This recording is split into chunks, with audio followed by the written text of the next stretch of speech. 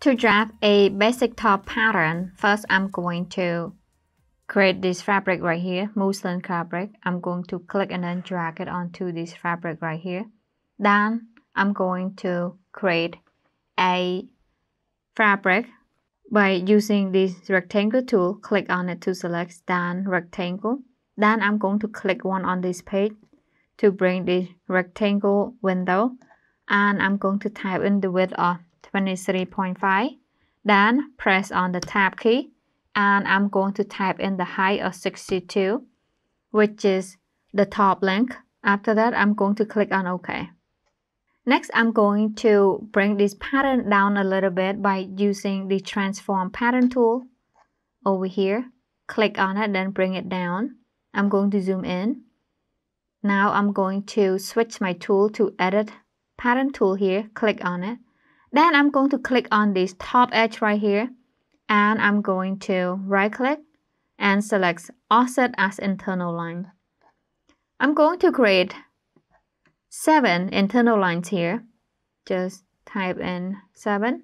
Then distance I'm going to select individual and the offset from I'm going to select selected line then I'm going to come down here and expand that offset internal line window just a little bit. Just click on this edge here and then drag until we see from 1 to 7. So the value for number 1 is 1.5. Press the tab key, then 3, then 12, then 14, then 35, then 58. Okay, so 1 and a half, 3, 12, 14. Okay, this one's supposed to be 21, excuse me. Then this one 35 and this one 58. So before we go any further, I want to show you how I get this data.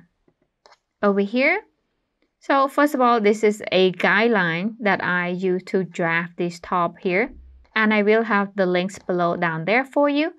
And here, this measurement, the top measurement guideline. Here, I use this measurement chart to draft that top. And for this example, I use this measurement and this formula here. So this is an advanced course. I will use this data and I have some link about this drafting pattern if you have any question, please leave a comment below.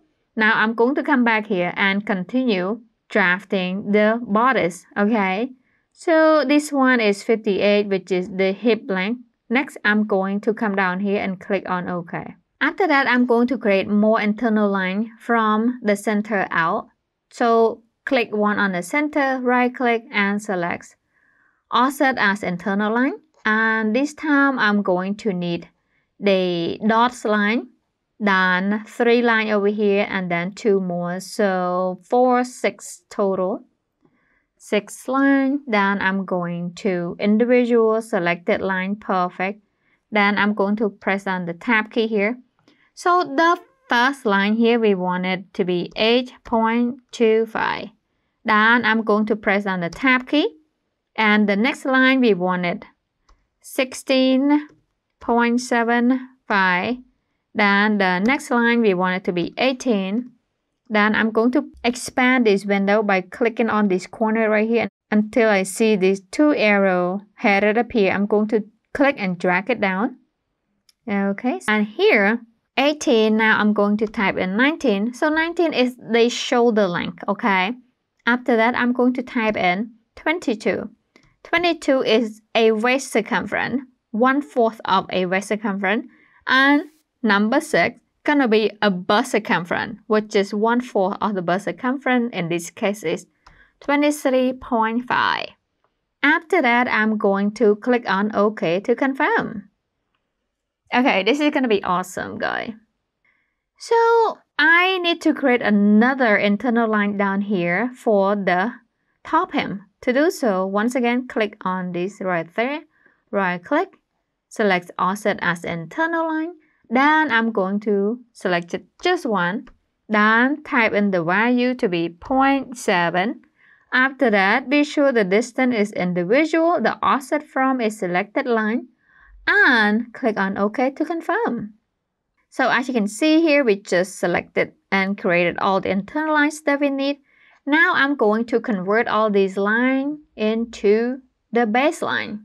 To do that, I'm going to click one right there, click right here, right here, right here, just like that, because I want that to be out of the way.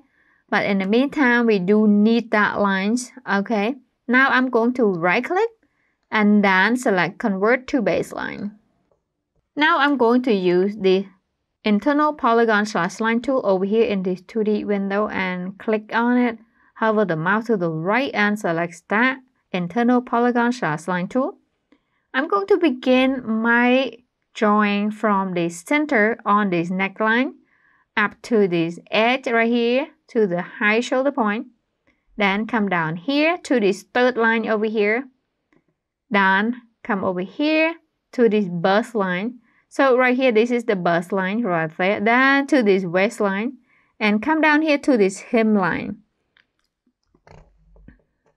Okay, so the hemline right there and I'm going to come down here to this edge right there. Then press return enter on the keyboard to confirm. Okay, it looks pretty cool, but not yet any close to a block looks like. I'm going to expand the 2D window just a little bit. Down, down here. Let me just zoom out.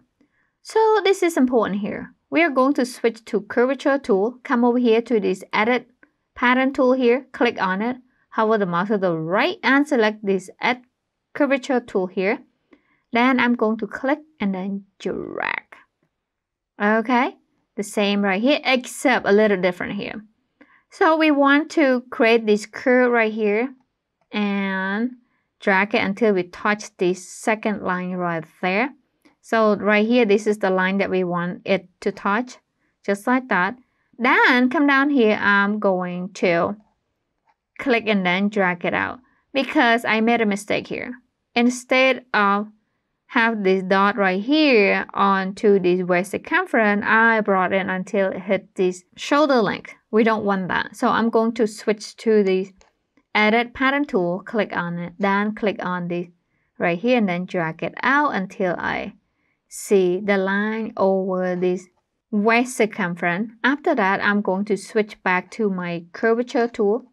Come over here and then select this edit curvature tool once again.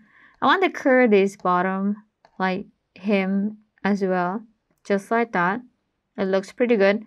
Okay, we also need to curve right here, but we have a different tool to use that. We're going to use smooth curve tool over here. So smooth curve tool, click on it. So I'm going to place that point right there onto that point and then I'm going to drag it out and then right click at the same time to bring this round corner by length window. And I'm going to click on this link icon here after that, I'm going to type in right there 1.5. So as you can see on the preview here, we have this one and a half curve each side. That's what we want. Then I'm going to click on OK. Alright, next we are going to trace this back top pattern. However, we are going to check a couple of things here before we are going to do that. I'm going to switch back to my edit pattern tool. Then I'm going to just click one right here and zoom in just a little bit. So I want to click on this handle and then drag it up and then sure this is stay kind of along the line with the bust line. And the same here, I'm going to just click just a little bit right here to give it this curve, but it's a perfect curve. That's what we want. I'm going to check right here as well. Let me zoom in we want this kind of stay along with this neckline right there. Okay. And right here, we want to stay a little curved right there. Okay. So now our neck curve and our arm whole curve looks pretty good. After that, I'm going to trace that as a back pattern.